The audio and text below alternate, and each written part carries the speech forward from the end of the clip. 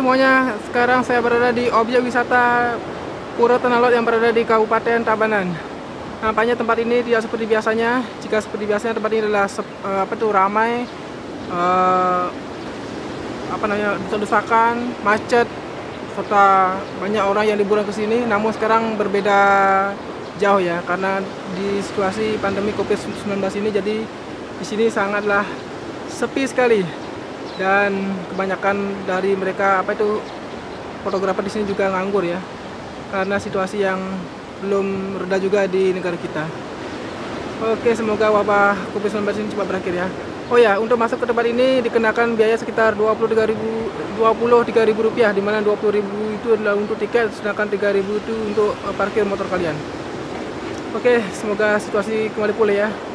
Oke, semangat terus video saya ini ya.